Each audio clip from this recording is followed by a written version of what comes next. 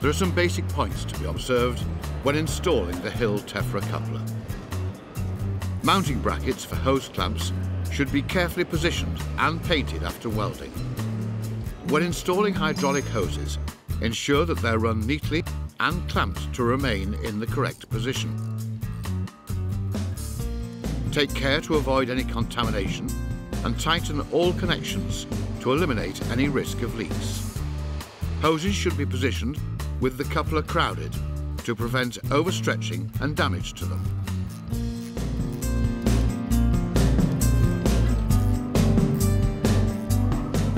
The special Hill solenoid must be mounted safely inside the service access compartment. Care should be taken to position it where the hydraulic and electrical connections can be made without undue difficulty. Switch box should be mounted in a safe place and where it's easily accessible to the operator. Make sure all cables are secured and, as far as possible, run out of sight, protected where possible and routed to avoid chafing. Affix the instruction decal where it'll be clearly visible to the operator without obscuring his vision. This machine is being fitted with an additional safety warning system called AWS. A suitable place must be found to install the sounder, which should face towards the working area of the machine. The coupler can now be fitted to the machine. Start by fitting the two hoses to the coupler. The external sheathing must be installed to protect the hoses from damage.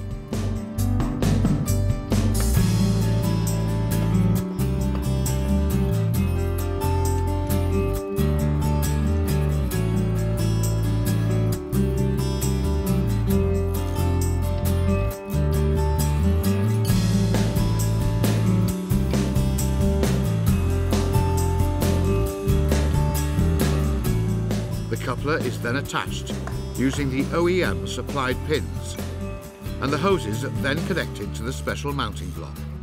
This block must only be positioned after the hose routing has been checked. At this point the coupler should be completely rotated in both directions to ensure that the hoses are not fouling anywhere and that there is sufficient room for them to move as necessary.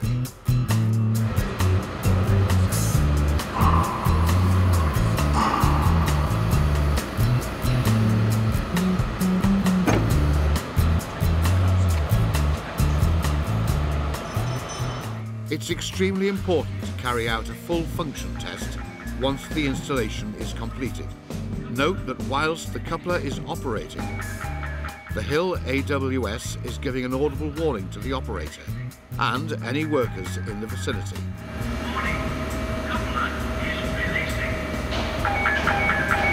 The coupler must be rotated towards the operator or crowded to enable the Hill smart valve to function. Otherwise, the coupler will not open.